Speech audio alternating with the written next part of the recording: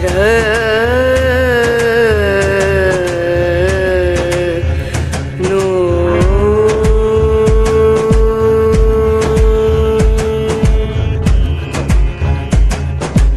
राधे, जय माता की भक्तों, आप सभी का स्वागत करती हूँ स्पिरिचुअल ज्ञान साधना में और आप सभी से अनुरोध करती हूँ कि स्पिरिचुअल ज्ञान साधना को सब्सक्राइब कर लीजिए और बेल आइकन को प्रेस कर दीजिए ताकि आपको नई नई वीडियोस का नोटिफिकेशन मिलता रहे।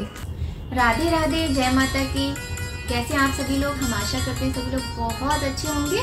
और ये बताने के लिए कमेंट में राधे राधे, जय माता की, हर हर महादेव कुछ भी लिख सकते हैं। आप सभी का बहुत बहुत स्वागत है स्पिरिचुअल ज्ञान साधना में।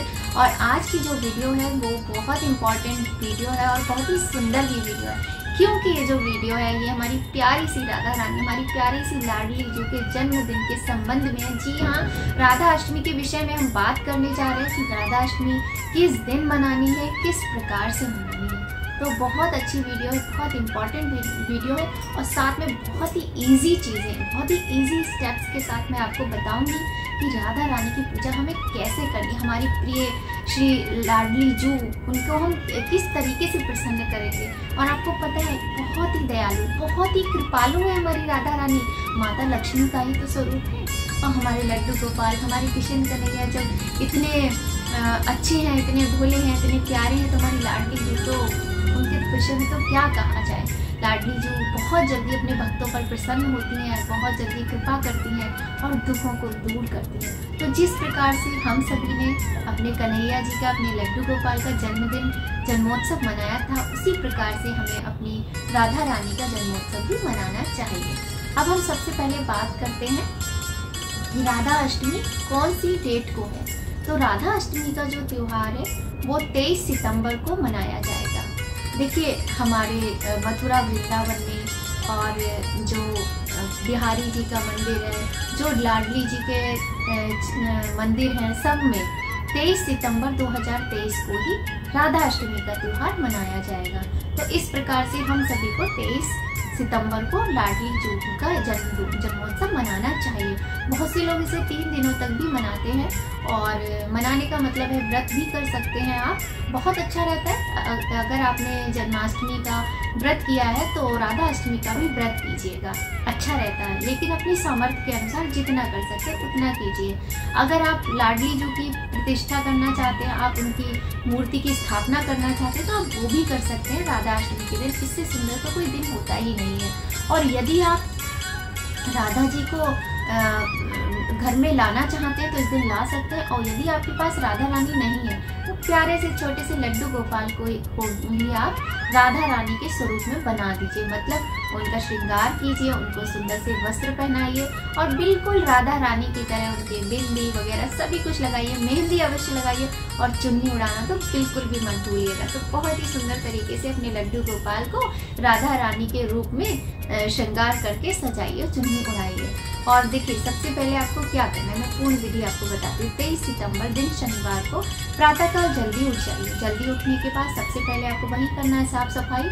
और यदि आप अलग से चौकी लगाना चाहते हैं तो अवश्य लगाएँ। नहीं तो आप अपने जो मंदिर है, उसी में कर सकते हैं। बस कलश स्थापना करना चाहें तो कर लीजिए, वो बहुत उत्तम रहता है। और राधा रानी को उसी प्रकार से पंचामृत से, दूध, दही, शहद, घी, शक्कर, गंगा जल से स्नान कराइए। और और हो सके तो अंत में गुलाब जल से भी स्नान कराइए। बहुत ही सुंदर रहता है। और मैं तो कहती हूँ, कराइए, अवश्य कराइए। उसके बाद उनको सुंदर से वस्त्र धारण कराइए। वस्त्र आप किसी भी रंग के पहना सकते हैं, भगवान को सारे रंग पसंद होते हैं। आप लाल रंग के पहनाइए, उनको वो भी पसंद होता है, उनको पीला भी पसंद होता है, नीला भी पसंद होता है। तो इस प्रकार से आप अपने लड्डू गोपाल को भी स्नान कराइए और लाडली जो है तो उनको भी कराइए और दोनों का श्रृंगार कीजिए। उसके बाद उनके, वही अक्षत कुमकुम, हल्दी, चंदन, इत्र और उनको जो भी आपके पास श्रृंगार का सामान हो, उनका जो भी गहने हो, सब कुछ पहना के अच्छे से श्रृंगार करके,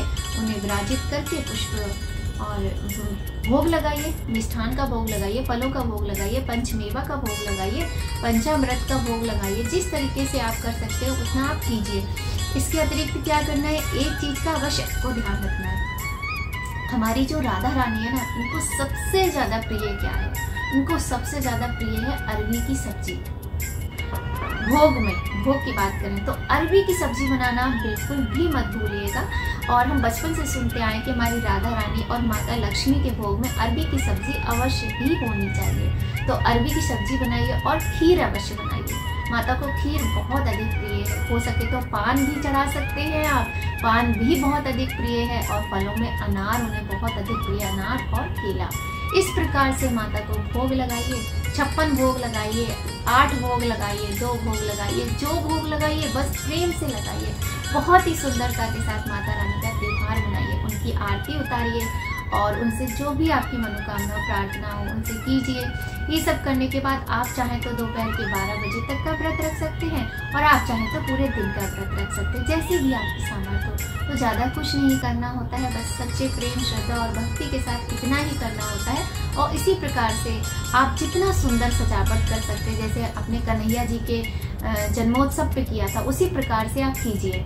और ये बात तो आपको पता ही होगी शायद क्योंकि जो हमारी लाडली जू का के चरणों के दर्शन होते हैं ना, वर्ष में एक बार होते हैं, सिर्फ़ राधा अष्टमी के दिन होते हैं। तो मतलब आप ये देखिए ना, हमारी राधा रानी जो है वो कितनी प्यारी है कितनी सौम्य है कितनी दयालु है कितनी कृपालु है।